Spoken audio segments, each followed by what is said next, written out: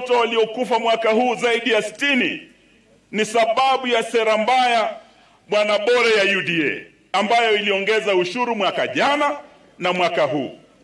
Lazima tuwe na upinzani unaoweza kusema no kwa sera mbaya. Sio ya kwamba tukibadilisha serikali lazima tubadilishe kila sera.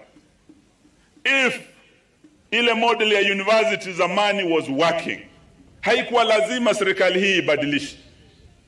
They are gambling with the future of our children. Wanakuja kutuambia kwamba wako na new funding model ya university, wakati watoto walikuwa wanalipa 16000 in a year, regardless of the course that you do. Ufanye medicine, ufanye engineering, ufanye social services, you only pay 16000 in a year. Na hapo wanafunzi ama watoto wa maskini walikuwa wanaweza enda kwa shule na wasome.